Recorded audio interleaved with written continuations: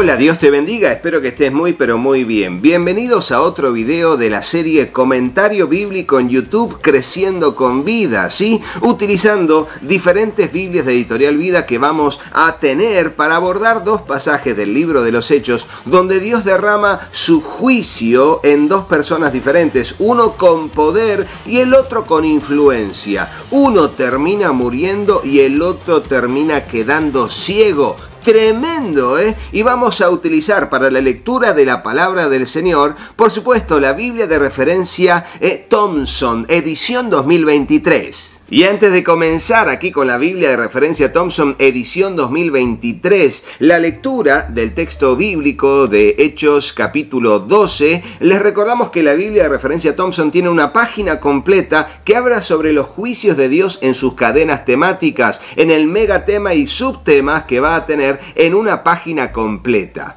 Ahora bien, tenemos aquí el libro de los Hechos, estamos aquí en medio del contexto de lo que sería la iglesia primitiva y todo lo que es la expansión del Evangelio y la iglesia en múltiples zonas. Por ende, vamos a ver el versículo 20 que va a ser titulado Muerte de Herodes, el gobernante, hijo de Herodes el Grande, que a esta altura va a estar aquí. Y fíjense lo tremendo que acontece en este texto bíblico. Dice así. Y Herodes estaba enojado contra los de Tiro y de Sidón, pero ellos se presentaron de común acuerdo ante él, y habiendo sobornado a Blasto, que era camarero mayor del rey, pedían paz porque su territorio era abastecido por el del rey. Y un día señalado, Herodes, vestido de ropas reales, se sentó en el tribunal y les arengó. Y el pueblo aclamaba gritando, voz de Dios y no de hombre. Al momento un ángel del Señor le hirió por cuanto no dio gloria a Dios y expiró comido de gusanos. Pero la palabra del Señor crecía y se multiplicaba, y Bernabé y Saulo, cumplido su servicio, volvieron a Jerusalén, llevando también consigo a Juan, el que tenía por sobrenombre Marcos. Y hasta acá la lectura bíblica y vemos a Herodes, el tremendo gobernante de su época, allí intentando llevar un asunto de su administración, y ante el grito voz de Dios y no de hombre, pasó que un ángel le hirió y expiró comido de gusanos. ¡Qué expresión tremenda! Esto fue un juicio de Dios. Vamos ahora al próximo acontecimiento bíblico que justamente sucede un capítulo más tarde, que es el capítulo 13, versículo 8 al 11, que dice así. Los apóstoles están predicando en Chipre y dice, pero se les oponía Elimas, el mago, pues así se traduce su nombre, procurando apartar de la fe al procónsul. Entonces Saulo, que también es Pablo, lleno del Espíritu Santo, fijando en él los ojos, dijo, Oh, lleno de todo engaño y de toda maldad, hijo del diablo, enemigo de toda justicia. ¿No cesarás de trastornar los caminos rectos del Señor? Ahora pues, he aquí que la mano del Señor está contra ti y quedarás ciego y no verás el sol por algún tiempo. E inmediatamente cayeron sobre él oscuridad y tinieblas y daba vueltas buscando quien le condujese de la mano. Entonces el procónsul, viendo lo que había acontecido, creyó, impresionado por la doctrina del Señor. Tremendo, aquí vemos en medio de la predicación del Evangelio en la isla de Chipre, allí Elimas el mago intenta influenciar al procónsul para que no crea y allí Pablo lleno del Espíritu Santo da una palabra como de condena y juicio y castigo sobre ese hombre por algún tiempo que quedó ciego instantáneamente y así lo haría por algún tiempo. Y uno dice, Rodo, pero ¿Qué pasa con el amor? ¿Qué pasa con la paciencia, con la mansedumbre? Sí, sí, estamos de acuerdo que eso debe ser así. Pero este es un acontecimiento, pero único, único, que es como que Dios permite y lleno del Espíritu Santo impulsa a Pablo a hacerlo. Y vamos a ver qué nos dice las Biblias de estudio al respecto de este tema. Comencemos leyendo la Biblia de estudio Teología Bíblica de D.A. Carson. Va a decir en la nota del estudio de la Biblia Teología Bíblica de D.A. Carson lo siguiente desde lo que es la muerte de Herodes. Muerte de Herodes. Como juicio por las acciones malvadas de Herodes en contra de la iglesia y su aceptación arrogante de la adoración divina, un ángel del Señor lo abate en un acto de retribución. Nadie, sin importar su poder político o militar, puede impedir el progreso del Evangelio que avanza en el poder del Espíritu de Dios. El historiador judío Josefo registra un relato similar de la muerte de Herodes y está hablando del libro Antigüedades. Explica que la ocasión tenía que ver con esa fiesta en honor al César, cuando Herodes aparece en sus ropas plateadas resplandecientes bajo el sol, el pueblo le aclamó como Dios. Él no lo negó y repentinamente experimentó dolores violentos en su vientre. Fue llevado al palacio donde murió cinco días después.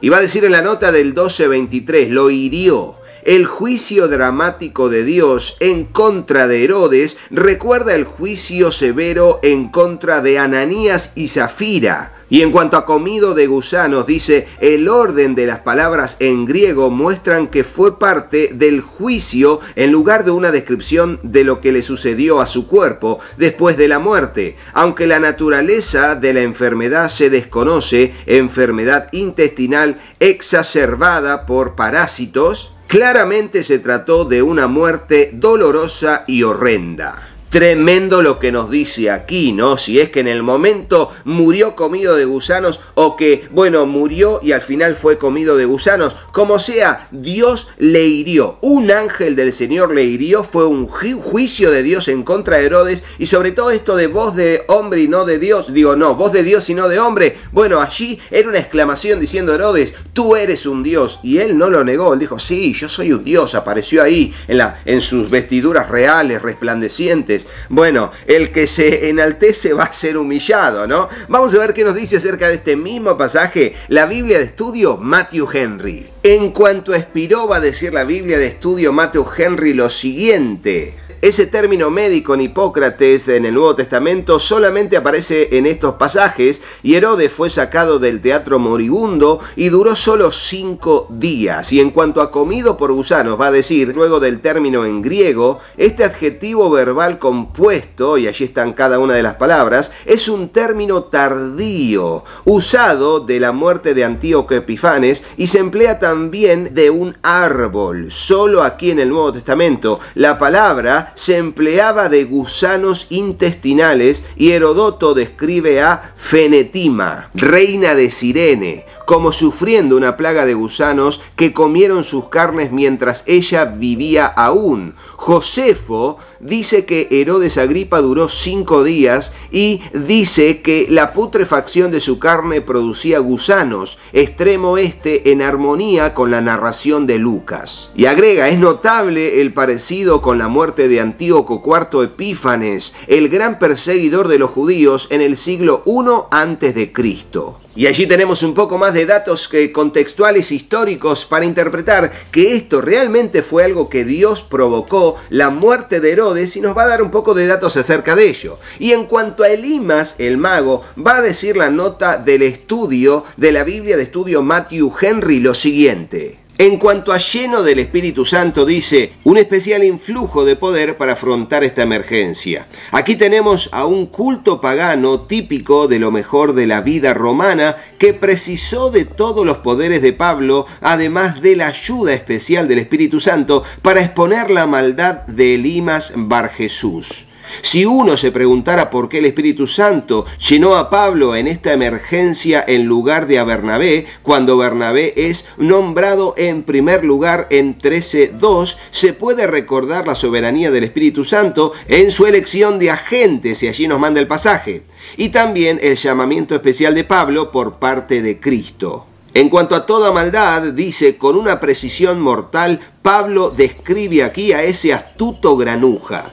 La expresión hijo del diablo, que tiene que ver con frase condenatoria como la aplicada por Jesús a los fariseos, un calumniador como el diabolos, Este uso del hijo para denotar características aparece en Hechos, allí los pasajes, un común giro hebreo y puede ser empleado a propósito por Pablo en contraste con el nombre Bar Jesús, hijo de Jesús, que tenía Elimas. Y así vemos cómo este acontecimiento también desde la Biblia de estudio Matthew Henry nos adelanta primero que Bar Jesús significaba hijo de Jesús y él lo que le dice eh, Pablo es no sos hijo de Jesús, sos hijo del diablo, por eso dice expresamente hijo del diablo. En cuanto a lo que fue ser lleno del Espíritu Santo, está viendo la capacidad que le dio el Señor para reprender y para también derramar una palabra de condena momentánea, eh, digamos, por un tiempo, de una ceguera instantánea. Y así fue. Y aquí me hace recordar la Biblia de estudio de Matthew Henry en sus notas de estudio, que tranquilamente Pablo dijo por un tiempo,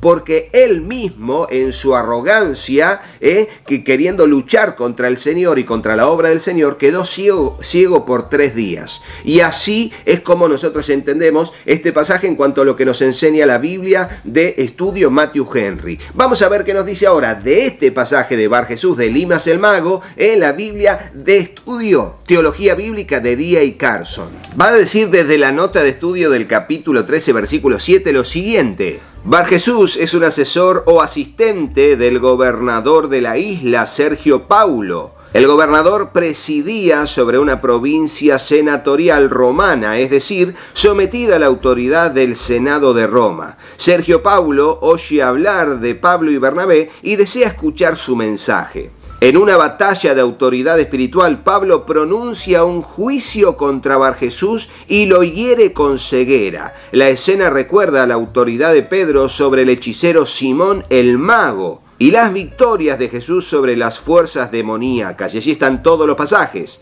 Este es el primer registro de la predicación del Evangelio a un gentil que no es temeroso de Dios y por lo tanto no tiene vinculación con ninguna sinagoga. Al igual que la expansión en Samaria, aquí también se produce un claro desafío demoníaco, mágico, directamente frustrado por el evangelista. A partir de este punto, Saulo es llamado Pablo y nos manda la nota del 13 y 19, y aunque continúa trabajando a través de los centros judíos de las ciudades, incursiona cada vez más en el mundo de los gentiles. Y fíjense cómo leemos la Biblia, Teología Bíblica de D.A. Carson, y leemos la Biblia de Matthew Henry, tenemos también diferentes contextos y diferente información que nos ayuda a interpretar el pasaje, aprender y también enseñarlo a otros. Es muy importante tener varias Biblias de estudio y varias Biblias de reflexiones, varias traducciones bíblicas. Es muy importante para hacer una buena exégesis del texto bíblico,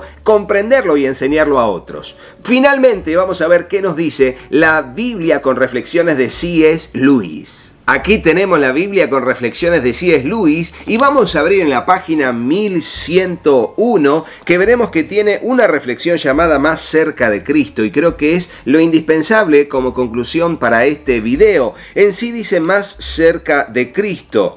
El mundo no consta de cristianos al 100% y no cristianos al 100%. Hay personas y muchas que están poco a poco dejando de ser cristianas, pero aún hay pero que aún pueden llamarse a sí mismas por ese nombre. Algunos de ellos son clérigos, otras personas que poco a poco se están convirtiendo al cristianismo, aunque aún no se llamen a sí mismas cristianos. Hay personas que no aceptan toda la doctrina cristiana acerca de Cristo, pero que se sienten tan fuertemente atraídos por Él que son suyos en un sentido mucho más profundo de lo que ellos mismos pueden comprender.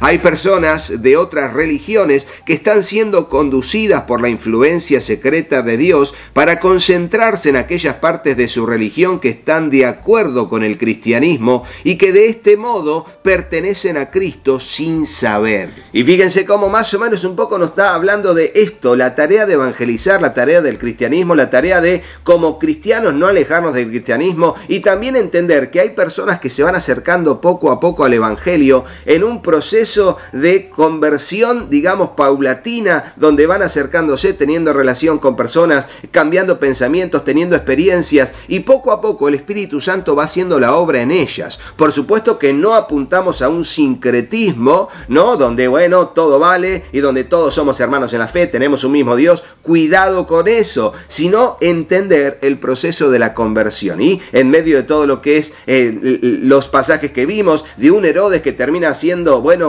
orgulloso de su posición y enjuiciado por Dios a través del mismo ángel que lo hiere, y luego un eh, mago, Elimas el mago, o no, Bar Jesús, que intenta influenciar al procónsul para que no crea y, y la obra del Señor no avance. Cuidado con todo eso, cuidado con todo eso, seguir adelante es el propósito. Y así llegamos al final de este video. Recordá que si querés conseguir cualquiera de estas Biblias de Editorial Vida y de Editorial Clie, eh, recordá que te dejo los links de compra en Amazon, que van a estar en la descripción del video o en el comentario destacado, para que puedan ingresar a cualquiera de esos links y hacer tu compra de manera segura. También recordá que están todos estos sitios web de CLC México, de CLC Uruguay, CLC Colombia, de CLC Perú. Bueno, allí podés ingresar y antes de hacer tu pago poner el cupón de descuento con Rodo y tenés un descuento en tu compra. Si querés comunicarte conmigo, comunicate al número que figura en pantalla y voy a estar aquí para atenderte con responsabilidad. Recuerden que estamos haciendo envíos por DHL a todo el mundo llegando en tiempo y forma de manera responsable. Este fue el video especial sobre estos pasajes del libro de los hechos, pero no te vayas de este video sin hacerle caso a mis hijos.